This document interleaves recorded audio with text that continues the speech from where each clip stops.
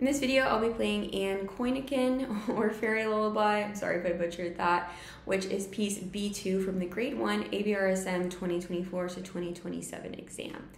I'll be playing this at the full speed of dotted half note equals 52.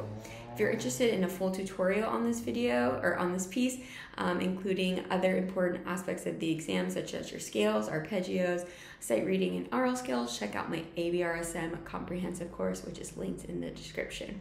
Without further ado, let's give it a try. One, two, three, four, five, six. One, two, three. Ready, set, go.